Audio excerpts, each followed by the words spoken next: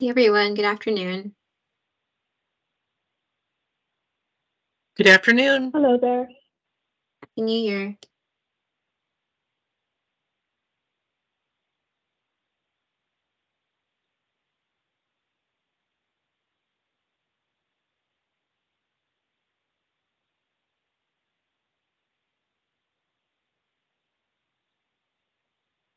Um, let's see, it looks like Mercedes is um, saying she had to join on her phone. So I'm going to try to see if I can unmute her in this um, meeting setting that we have. I'm not sure if I can since she's on the phone, but I will do my best here. Give me one moment and we'll get started.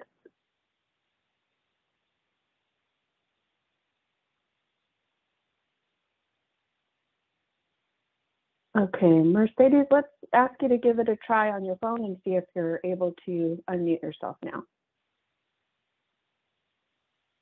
Hello, can you hear me? Yes, success. It worked. Okay.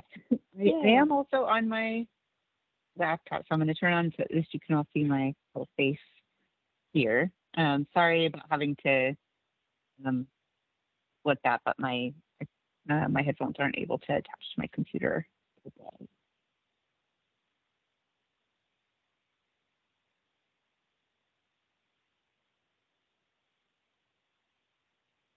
Okay. Look, we have a small group with us today, um, but let's go ahead and uh, call the meeting to order and start our roll call.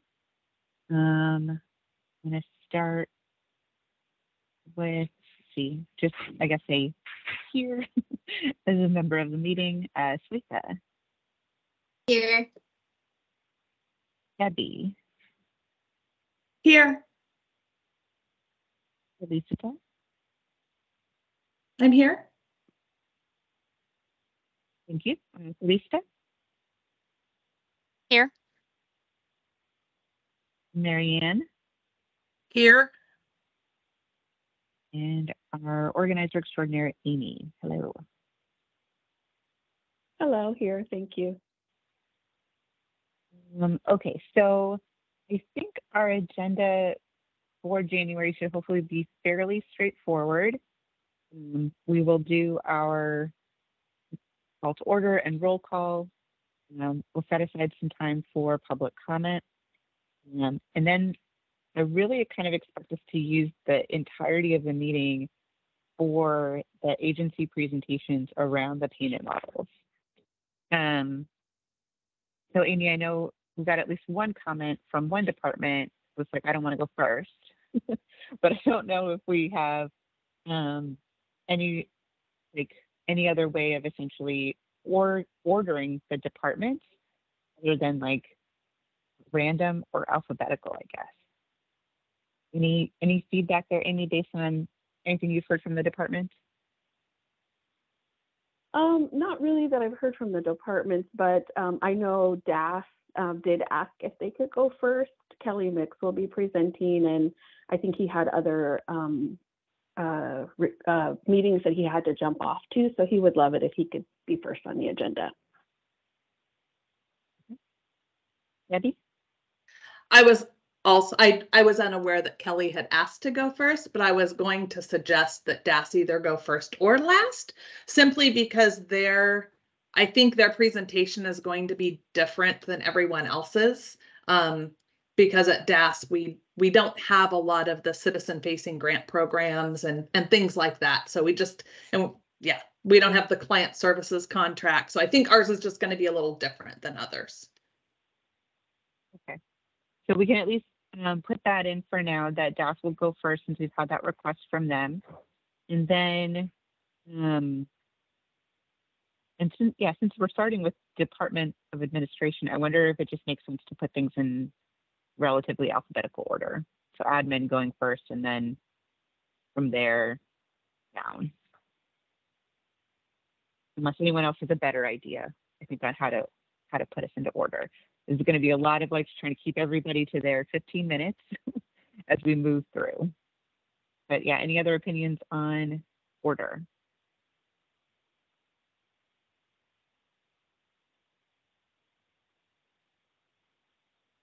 I think alphabetical sounds good. So then we would have DELC, Department of Early Learning, then we would have DOJ. Um, I'll Then jump we in would and have- share that D- DOJ is not participating because they don't have, they can't speak to the questions that we're asking. Um, this time, they might participate in an, a later question and answer session, but they won't participate this round.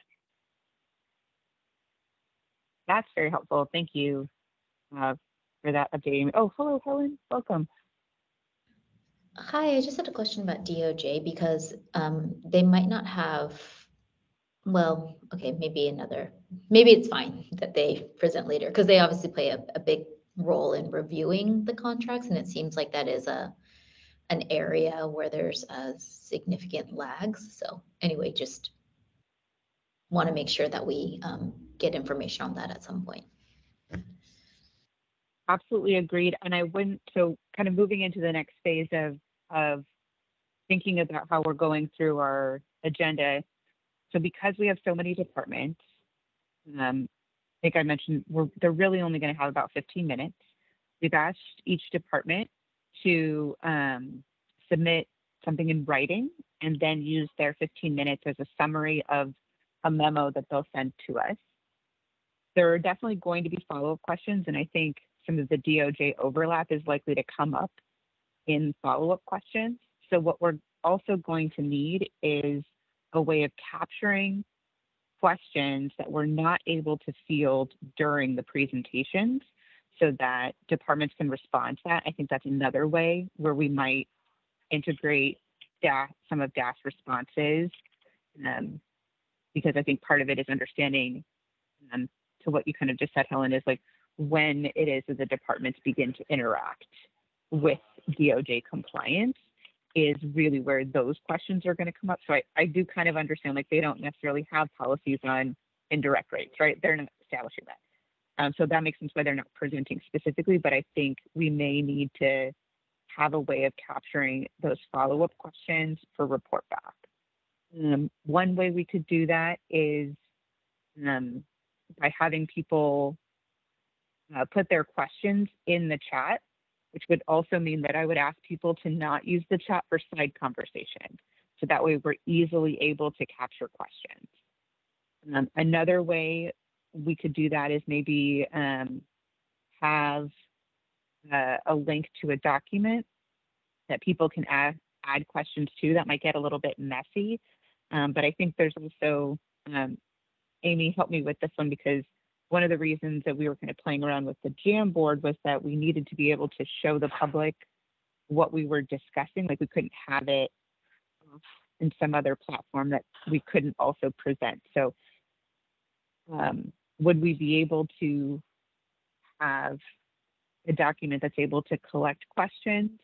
Or does that need to be like visible on the screen if we're collecting questions during the presentation? I, I think the the issue would be is how do we capture who's asking the question if we add it to a document? Um, that's sort of where we got stuck with the Jamboard too, is not everyone was adding their name to their notes, and so that got a little tricky. Um, so I think the chat is probably a better feature because it will capture who it is that's asking the question. Um, unless we want, if you want me to scribe, I can scribe and try to collect all of that. It just gets a little bit hairy if people are coming and going from the waiting room and the lobby. I can't always hear because there's an announcement to me that no one else can hear on my side that says someone's waiting in the lobby, and then I don't hear the conversation. Um, so I think the chat is probably our best bet. So any other thoughts from our other agenda planning folks? I think the chat is a fine idea. Um, and then it's also in the recorded conversation. It's, it's in the recording. Yeah. Okay, so when we jump into our meeting, we'll do our call to order, our public comment. Then we'll have our present, so I'll probably do a little bit of an explain, explainer at that point to remind folks like, we're not gonna have a lot of time for discussion in this meeting because we're gonna be listening to a lot of information. If you have follow-up questions, put your follow-up questions in the chat and please try to avoid using the chat for slide discussion so that we don't miss capturing any follow-up questions. The departments would then be given those follow-up questions to respond to um, so that we kind of have full information um, there. And so then essentially we end up with almost like a little booklet, right? We have on this topic. We've got all the department memos, we've got their PowerPoint presentations, and then we'll have a follow-up document from each department who had follow-up questions. And that will then be our payment models that prioritize cost recovery and that's what we'll be able to use to kind of start developing our recommendations for that specific one. Um, okay, just taking a look at the chat here. So we've got um, doubling down on the DOJ. Can we ask DOJ to provide info on where they have touch points? That's a really good uh, framing of that. So um, Amy, I'm wondering if you can take that step. Uh, since they obviously reported back to you that they didn't have anything for this presentation, um, if you can ask them to give us some more information about where they do have interaction with any of our topics so that we know either when we're getting a standalone presentation from them or when we need to be asking for their input um, in addition if they're not like example here like what is their engagement around payment structures? Do they approve payment structures? Do they evaluate payment structures and contracts just to get a sense of what questions we should be asking them as we're moving through all of the presentations really because we could imagine this is going to happen again where they might feel like they don't have something directly to present based on the questions that we're putting together for the different topics but that we know they have influence over these different topics. Does that make sense It does, and I'd be happy to do that. Um, with that, I do want to share that um, Kristen Galino is out on some sort of leave, and so she's been replaced by a gentleman named Jonathan Grew. Um, their Attorney General has appointed Jonathan in her place. So Kristen will be back in a few months, but Jonathan is joining us this month. And then we had a second representative named Kate Dennison, and she has left the agency, so we don't have a second DOJ person. Um, so just some nuances there. I will reach out to Jonathan and see what we can learn uh, about these touch points and see um, how they'll interact with us as we move forward to the, the next um, topics. Okay. I gotta say, and now I'm getting all nervous about DOJ. Okay, um, because I think one of my fears, and I'm sure others share it, is that we come up with recommendations, and at the 11th hour, DOJ is like, "Oh, you can't do any of those things." Um, so I want to make sure, just because that's what we've seen happen in the contract space, right? I'm just, I'm just being flippant a little bit, but like, so we want to make sure that we're involving them early and often, so that they're really helping us understand the sandbox that we're playing in and where we have flexibility and where I don't want to say we don't have flexibility, but where things get more complicated.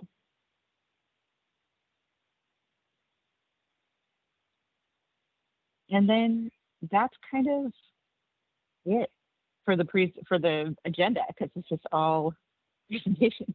Go ahead, Marianne. Trying to lower my hand now and I'm not sure how to do that. Uh, okay, there you go. All right.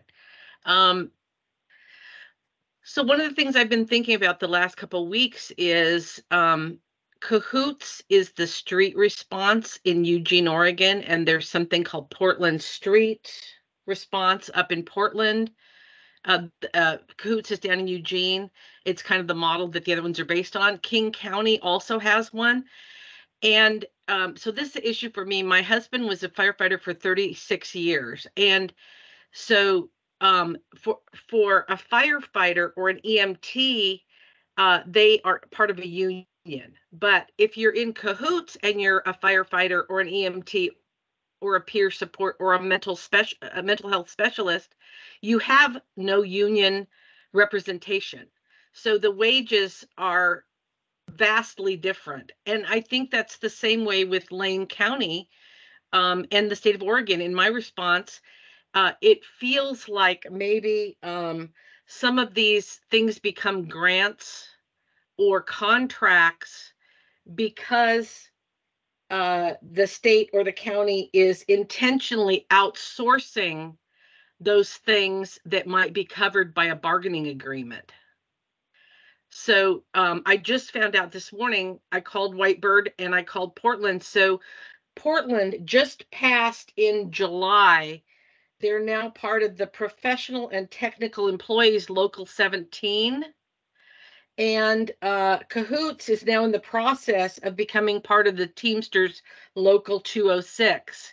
So I think, especially when we get to that um, living wage, standard wage question, I think we need to discuss being represented by a union or not. And I and I don't know how open nonprofits are to having that discussion. Or if we just veer it towards is there something happening that makes um if you're a firefighter working for Portland then you're represented by Portland Firefighters Association. But if you're a EMT working on cahoots, you're not represented by the same union as the police and fire in Eugene, right? So those kinds of questions. Sure. Um, I, I would, you know, I wouldn't be surprised at all actually if unions came up in the discussion. Um, I've been working nonprofit for many years. I've been in some organizations where I've been represented other organizations where I haven't been represented. I will definitely tell you the lowest paid job I had, I was represented. Um, and so I think it's not a silver bullet, but I think it's definitely well worth a discussion about how do we create wage floors? How do we create uh, empowerment among employees to negotiate with their um, employers? I also think one of the tricky things with unions and nonprofits is that it's not the same as a for profit where you can go and just negotiate straight with the leaders of that organization, right? What we're finding here is that the decision about what's available in wages doesn't exist in the sole hands of the organization. It exists in a combination of hands of what the legislature put into a budget, what the department is willing to put into a contract, and then what the organization is able to put into their staff. So I think it's a well worth conversation. And I think on the other point of like outsourcing work, I think historically nonprofits are the place where we do what the government can't and what the market won't. And so we're always going to be that additional lifeline and minimum support for communities. But I think I wouldn't be surprised if uh, unions, wage boards, um, prevailing wage, all that kind of stuff came up when we get to our wage meeting discussion, which I don't have my list in front of me, but I think that is the March meeting.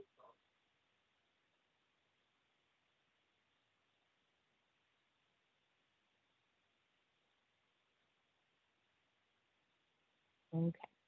Um, so the, I think the last thing, this is turning out to be a really short agenda planning meeting, but um, I kind of want to, I guess, Amy, let me know if it's okay.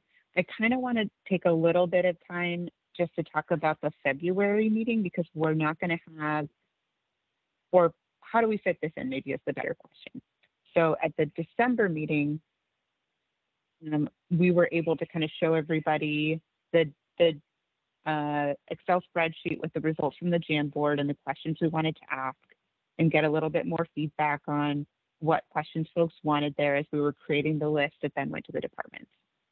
Um, because we have so many departments presenting, we're not going to have as much time for kind of general discussion at this meeting, but I still want to make sure that we're able to kind of re-review that list of the questions that came up in the Jamboard um, and so it feels like we either need to find time in this agenda to do it, um, or that's something that we discuss at the agenda planning meeting, but that would be this meeting because the February agenda planning meeting happens the week before and departments need, I think, I would think the entire month to know what questions they're needing to respond to for February.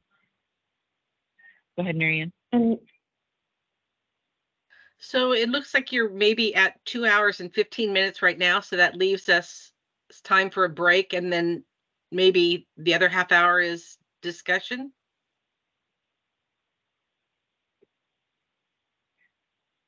Is that what the timing looks like?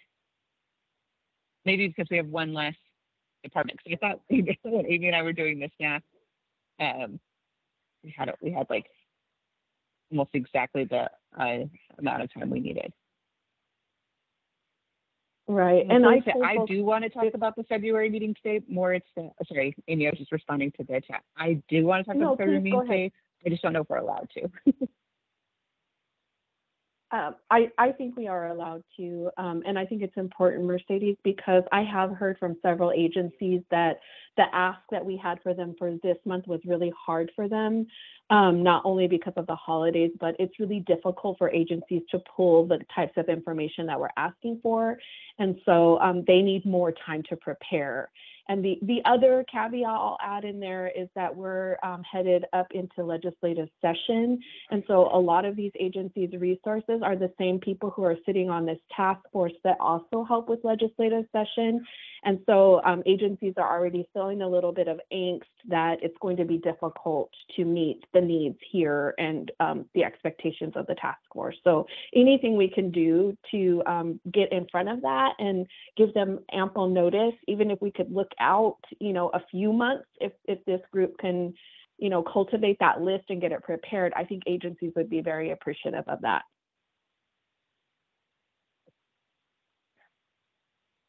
So let's go ahead um, and pull up our Excel spreadsheet.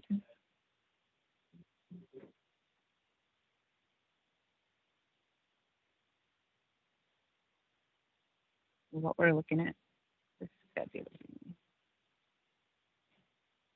February.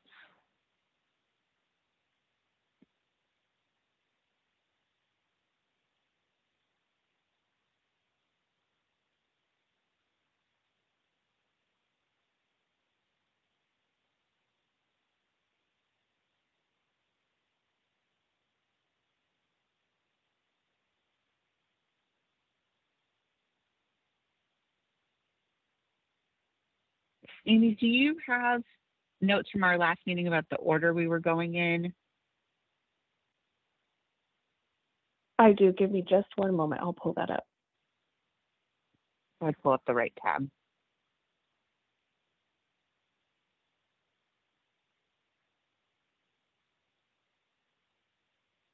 Um, for February, we have uniform application procedures.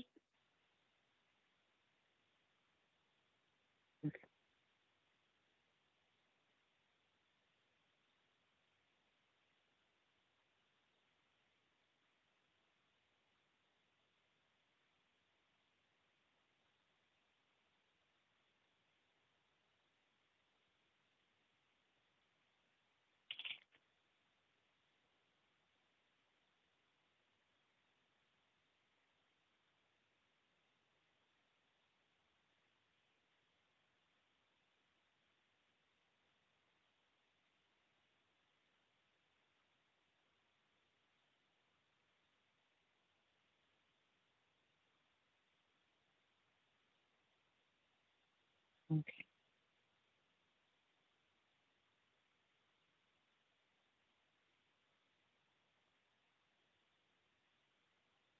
So I am going to share my screen and I'm going to pull up our Jamboard.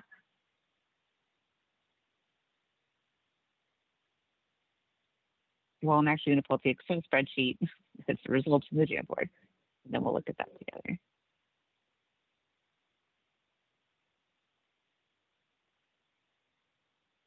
So I can't see you all, so if somebody could let me know if you can see my screen.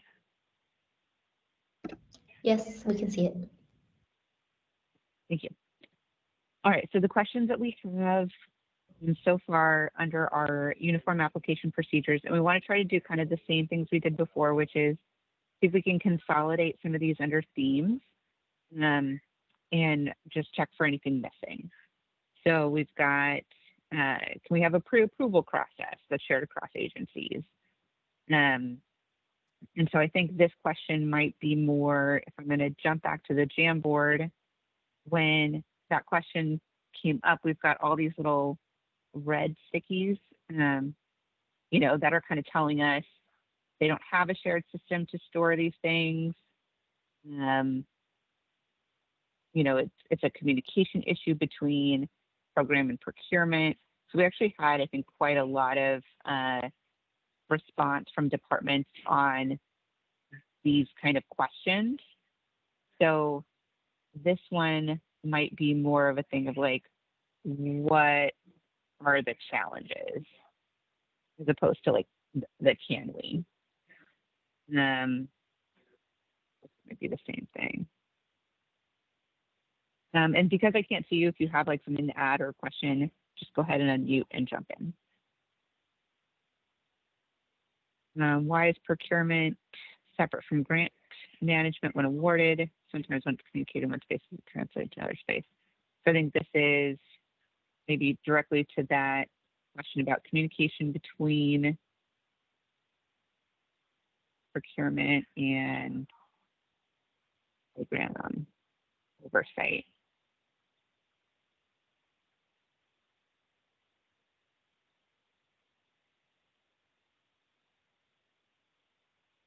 Mercedes, I think this also, this is Debbie, I think this also has a little bit to do with how authorities are distributed in the agencies.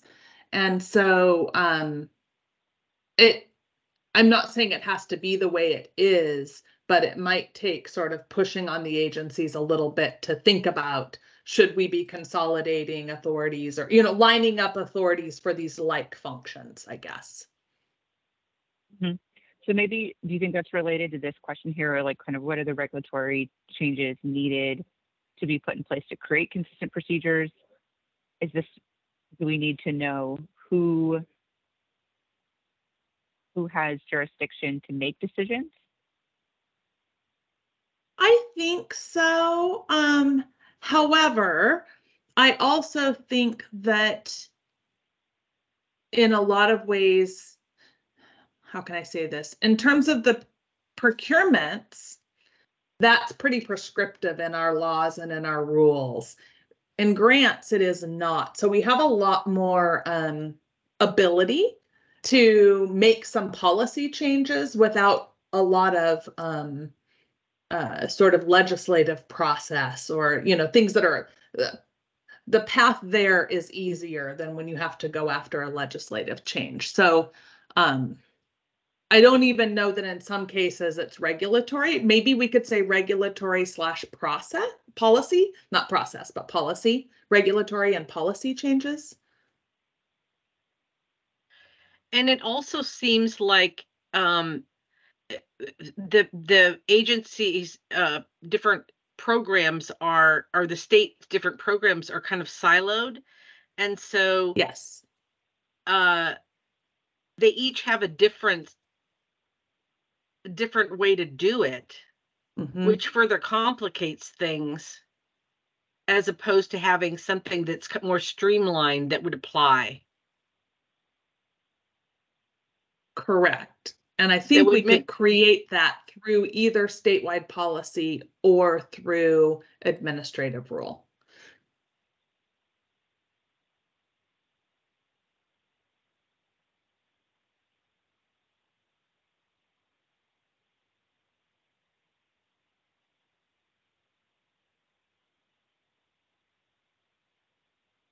I think that's perfect.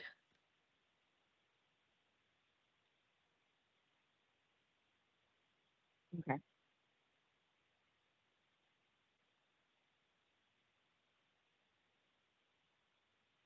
And we have funding that renews each biennium. Why is the SOW developed every time? Will it work? Sorry, didn't mean to move it so fast and give anybody.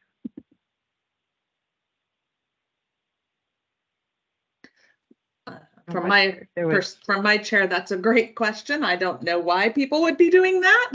That's just extra work, but I think that again, it kind of relates back to what Mercedes or what Marianne was just saying that um if we had sort of a, a even a skeleton of this is the standard process that you follow and who does what, um, I think some of these one-off things could get resolved. I know in Lane County, we actually, they do an RFP and then you, if you win that RFP request for um proposal, then sorry. Um, then it can renew several times. It can re- re- renew three or four times. The the thing with that um th- it, that it renews every biennium, what you really need to do is build in some kind of three or four or five percent increase each biennium. Otherwise, you're stuck at that same rate for three or four years. Even if your um, even if your wages go up.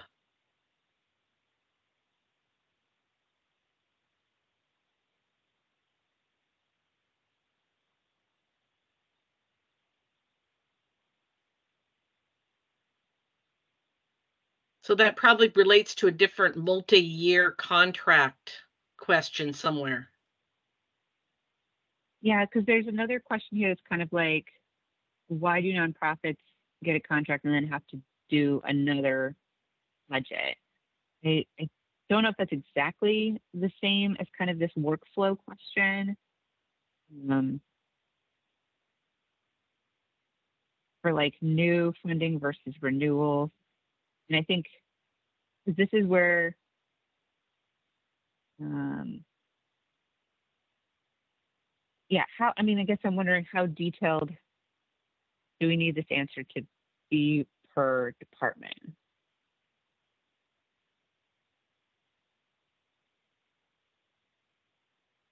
Because I think some of this is also how much discretion does the department have? Maybe this is more of a question of like, the departments put in the request for ongoing funds, right? They're like, we want to renew this for the next biennium. We need X number of dollars to do that. And there's some sort of calculation that they are doing for what it costs to continue doing that.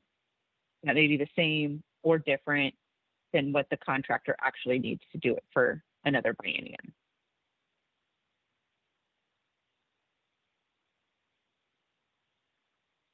So can we ask each agency to say if they do multi-year contracts? So that should be a question that gets answered in this next meeting. Right. It's uh, definitely a question in, in our payment models list. Um, so hopefully we'll already know the answer to that question. So I think we should, we could try to maybe narrow this down a little bit more because this is about uniform application. So kind of jumping back up to the top, what are the Mhm. challenges um, having pre-approval process that is shared. That's what we want to know.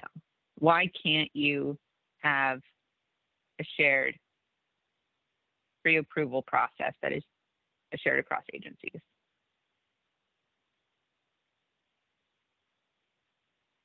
Ladies, can I ask a quick question on this one? Are, are we envisioning each agency to present the answers to this individually? Because as I'm reading through this one, and since we're really kind of narrowly focused on uniform application, it makes more sense to me to have the agency reps get together and prepare this presentation as a group.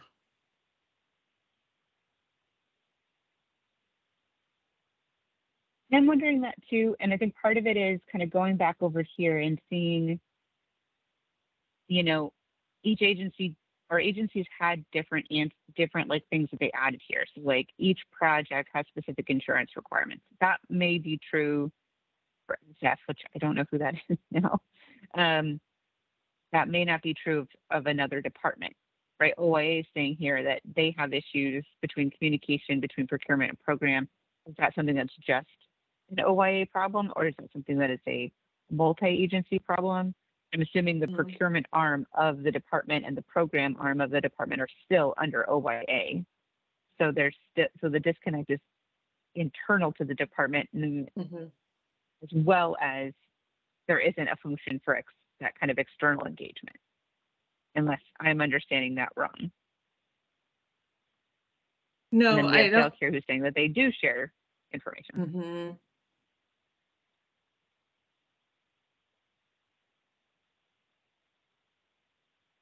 So I like But the I- idea of a shared yeah. presentation, but I just, I wonder if there's enough anal, if, if there, yeah, go ahead. Sorry. I guess I, what we're asking for is can all you agencies, myself included, work together and having, we're not asking for each agency to come up with a uniform application, right? We're asking the agencies to, to work together and as state agencies have a uniform application.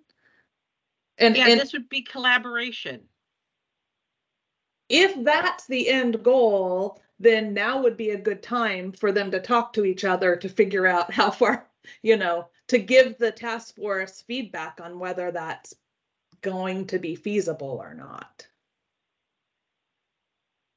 So maybe we do this in January and then in March or April, we have a whole list of um like a spreadsheet with different columns for each, you know, youth authority or uh, Oregon emergency or whatever. And then we ask specific questions. Is this the same for you? Do you need a separate insurance policy? Why?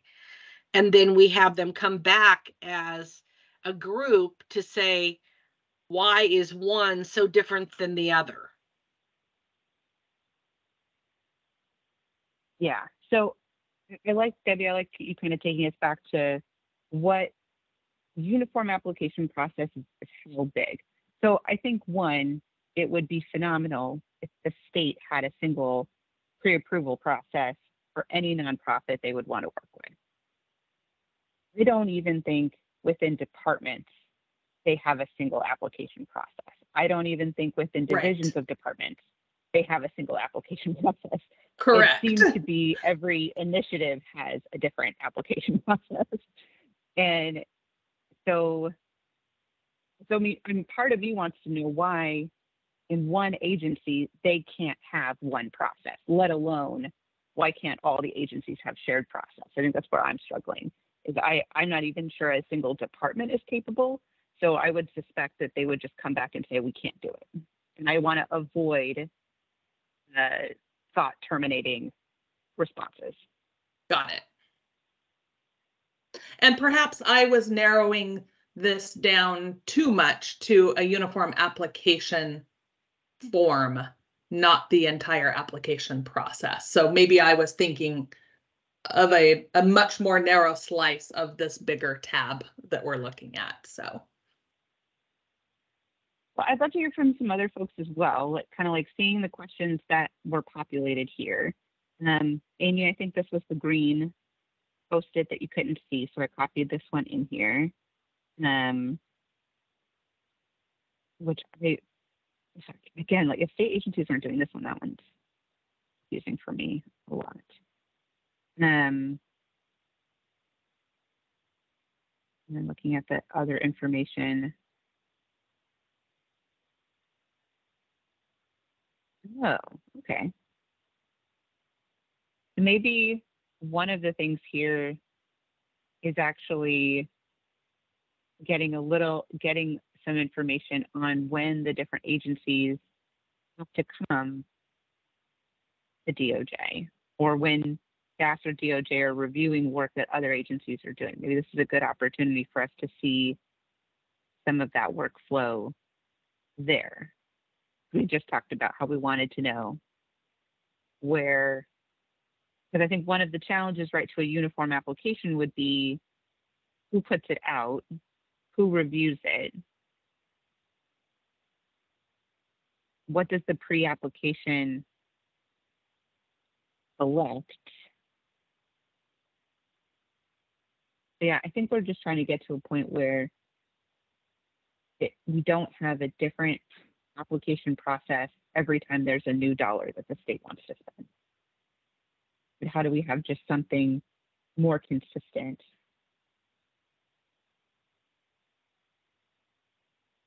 Thoughts from other people? Are we looking to just try to figure out a pre-approval?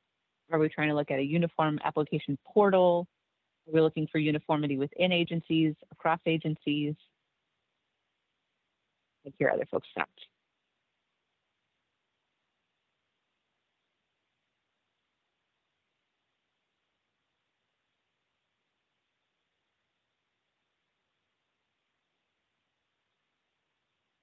So if you're asking in line six, what are the limitations of information sharing across agencies? Do we ask that of the state? Do we ask that of the agencies? What hard So walls way are we- there? So the way we've set the expectation is that each department would get an opportunity to respond to the questions that the task force has posed on each one of these items. So that's how we set up this first presentation. So this next presentation would be assumed to follow the same pattern. So we would want to structure these questions in a way that the departments could respond. I don't think there's anything wrong with departments wanting to present together. Um, but if but yeah I, I don't know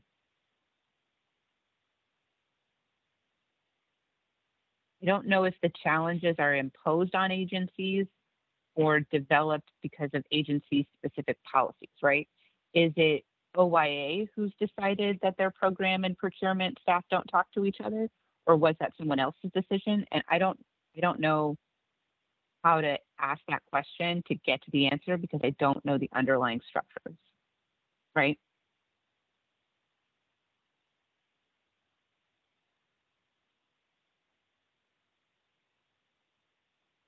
Debbie, do you know any reasons or um history as to why agencies couldn't share information between them?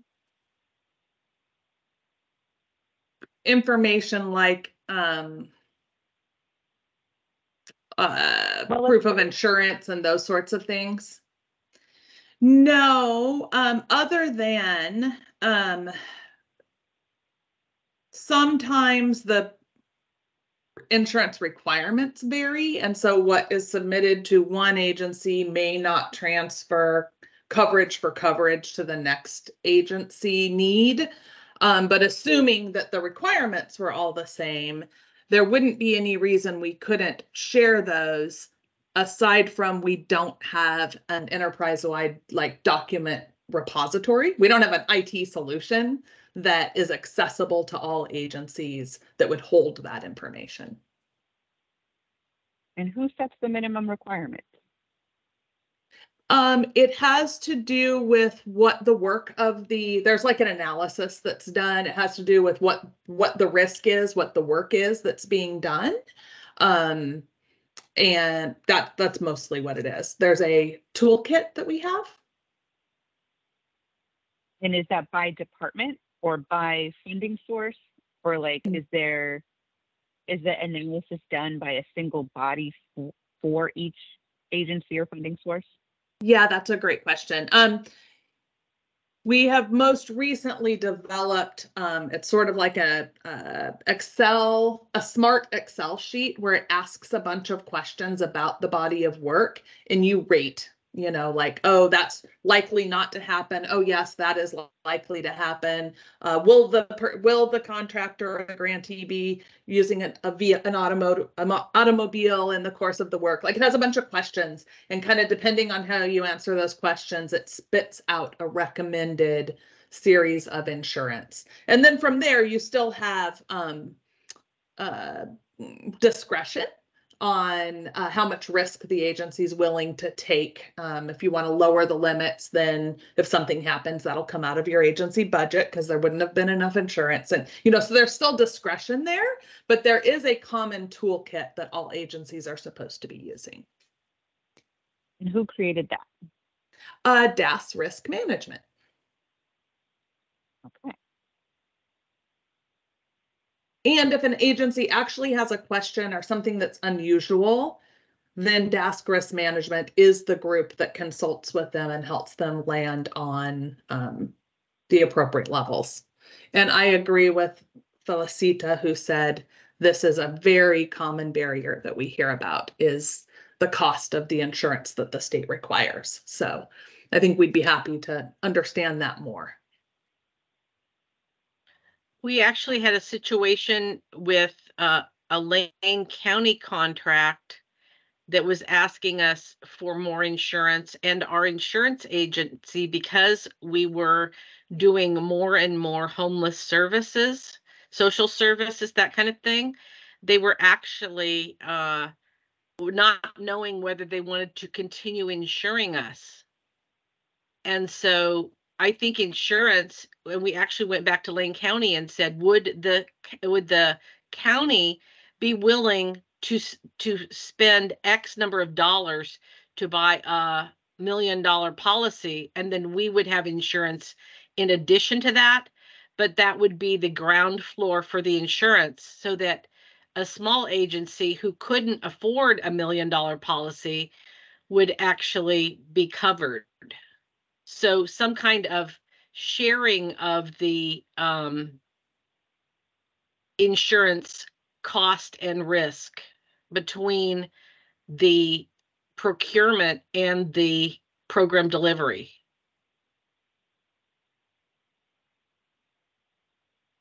I believe that our risk management department did quite a bit of work on something similar to what you're describing, Marianne. Um, and so they would probably be able to come and, uh, I see that, um, Felicita is suggesting maybe they make a presentation. And if we choose to have them come, this would be a topic. We should ask them to present, like, what were their findings on this? on this shared model, what's doable, what's not doable, if it's not doable, why? Um, and I think that they, they wouldn't have to do a lot of work to be able to prepare for that. Who was that? The DAS Risk Management Group.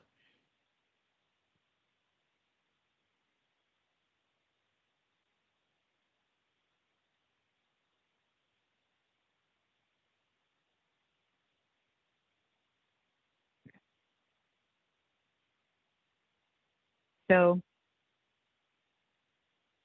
kind of like just reorganizing some of the questions.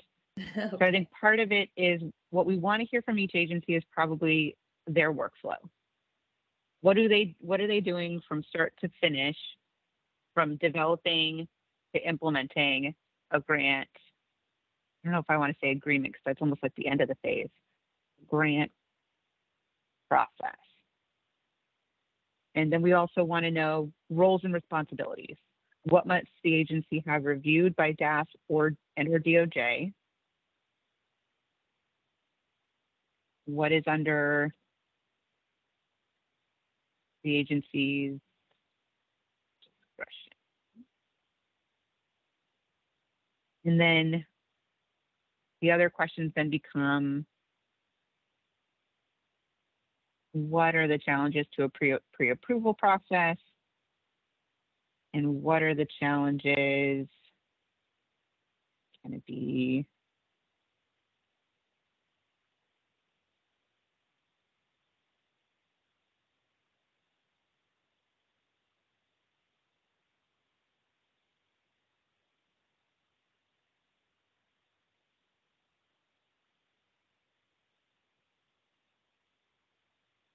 So part of it is what can they share kind of within their own department? And then what what are the challenges to being able to share information with different departments? Then we have DAS risk management who has their own presentation on um, what was this one? Insurance. Um, did we talk about like shared database system or is that something that's separate?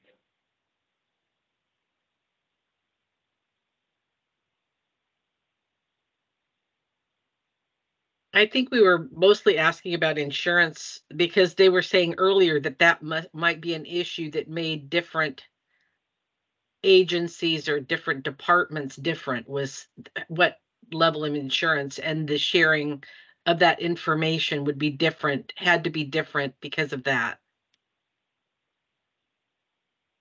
Yeah, I'm just wondering if there's anything else that the DAS risk management presentation would speak to or if it would just be insurance.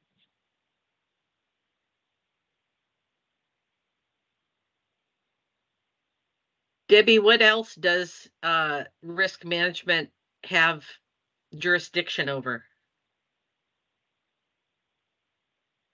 Um, stuff that isn't really, um, they manage our self-insurance fund, um, and then they also, um, work on all, you know, all of the statewide lawsuits when, when the state gets sued for a variety of things. They're the ones that are managing all those lawsuits. So that's, that body, the biggest portion of their work, um, really isn't applicable to our task force. They also do all the workers' comps claims and work with SAIF and sort of that side of state risk management.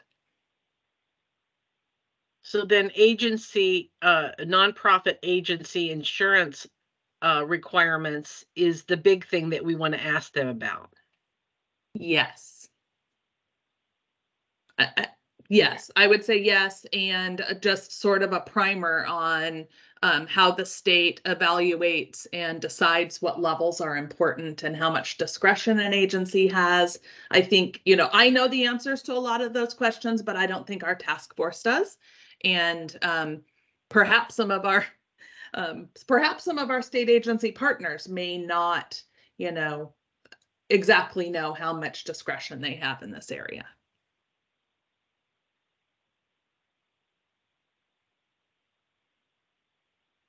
Felic- Felicita, it looks One of like, the,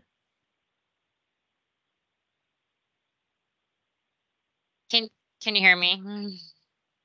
Yes, apologies. Yes. I'm in I'm in a Starbucks, um, so that I'm not late for my three o'clock across the street. Um, I'm trying to uh, come up with a thoughtful question um, that makes sense, or because the overarching goal of this is to look at all these pieces and how it ties to wages. So I just want to make sure that in this presentation around uniform applications, that we're asking a thoughtful question about where does wages play into the application process? Like, do people have to share what their wages are or agree to certain wages? Like, that's what's kind of on my mind in this loud coffee shop. I don't have a fully formed thought, but I just, I wanted to say that. And thank you, Mercedes. You're amazing at organizing all these thoughts. Thank you.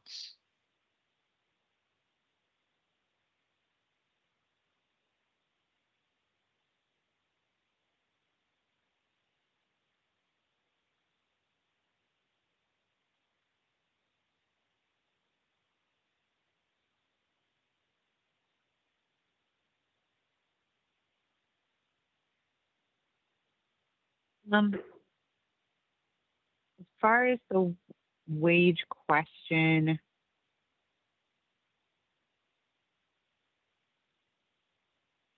I think that's, yeah, I'm not sure. Because I know in some instances, and this is again, this goes to the inconsistency though, right? Because like some applications you submit, you'll actually put, you know, for FTE, X amount per FTE, X amount for fringe and benefits. And then other times, um, you don't you're not asked for that level of detail. And then sometimes when you're asked for that level of detail, it's amended for you. Like you said you wanted four FTEs, we're only going to pay for three. Other times it's like you can still have four FTEs, but we're only going to pay X amount of dollars, which is, you know, 25% less than what you asked for. And that's the part that I think I don't quite understand is why some agencies will approve a budget and why other agencies will like rip apart your budget. And what are the underlying like reasons for why they'll do different things with different buckets of money? so for St. Vincent de Paul, we have federal, state, city, county, all of those different contracts. And depending on the funding source, it feels like it's based on funding source. Some of them have matches, some of them don't. And some of them you can push back and say, well, we can, this is our minimum budget that we could do this program for. And uh, if, if we don't, you know, and usually they give you a dollar amount in the RFP of how much, and then you decide, can I do it in that amount of time? And then if the RFP does not get any valid responses, then they come to you with a letter of intent and say, okay, so what could you do for this amount?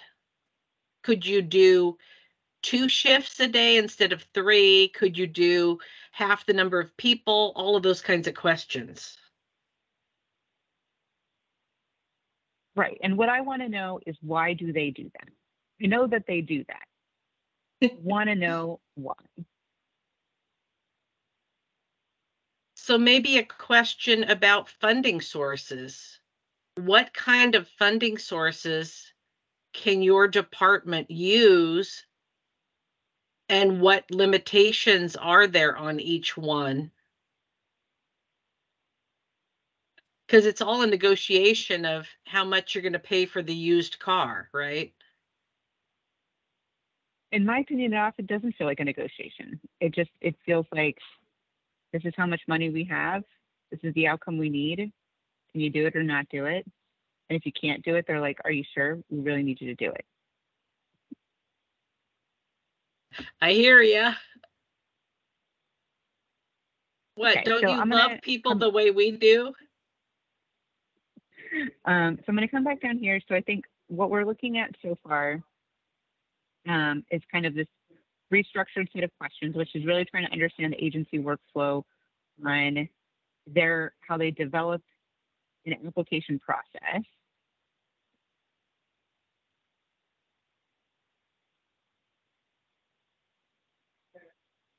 And implementing a grant agreement. Because we want to know from beginning to end, what are you doing to put this together?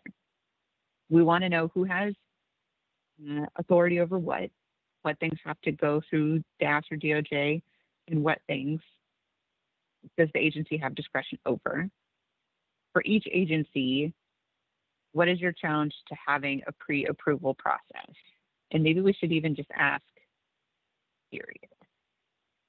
Right? Why can't your, why can't there just be one, every time there's a grant that DO, like ODE does a grant, they use the same portal that asks you the same set of questions. And if you're pre-approved for that, then we'll get into the details later. But like, why don't we have anything that's the same? Why is, why does every time you put out something, it's different? And then in addition to that, we want to know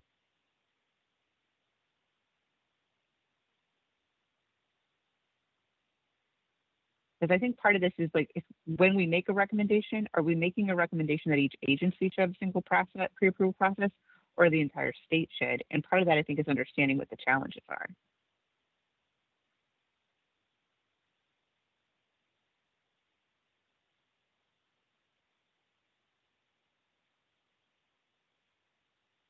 And then what are their challenges with sharing information between programs within the department and among different departments? Um, and then we want to make sure that when they're explaining these challenges, they're differentiating between things that are their own administrative rule and things that would need legislative changes.